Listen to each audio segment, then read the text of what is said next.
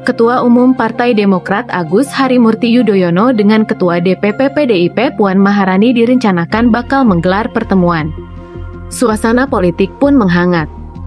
Partai Demokrat selama ini mengusung Anies Baswedan bersama Partai Nasdem dan PKS, namun belum kunjung ada keputusan duet dengan siapa pada Pilpres 2024 mendatang.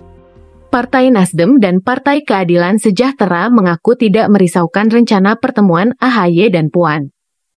Demokrat bersama Nasdem dan PKS telah membentuk Koalisi Perubahan untuk Persatuan atau KPP untuk mendukung Anies Baswedan sebagai bakal calon presiden. Wakil Ketua Umum Nasdem Ahmad Ali mengatakan, ketika kita membangun koalisi, yang diletakkan adalah trust, kepercayaan satu sama lain. Pihaknya tetap menaruh kepercayaan penuh kepada Partai Demokrat. Pertemuan antara politisi ataupun partai politik adalah hal yang baik untuk kepentingan bangsa. Menurutnya, pertemuan Puan dan AHY memang diharapkan terjadi mengingat hubungan kedua partai tersebut tidak harmonis selama ini. Juru bicara PKS Muhammad Khalid mengatakan, tiap parpol punya kedaulatannya untuk menentukan langkah politiknya masing-masing.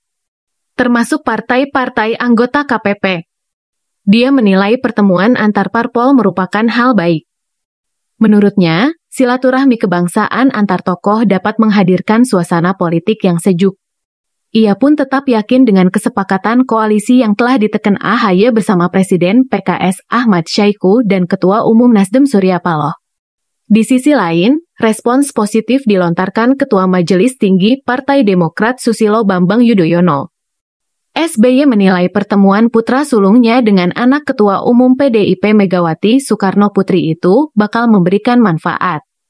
Menurutnya, Partai Demokrat selalu berpendapat pertemuan yang berangkat dari niat baik, tujuan baik, membahas masalah-masalah bangsa tentu ada gunanya. SBY menyebut, AHY telah menerima ajakan pertemuan dengan Puan yang sebelumnya disampaikan Sekretaris Jenderal PDIP Hasto Kristianto. Menurutnya, Partai Demokrat juga sudah siap bertemu dan berdialog dengan PDIP.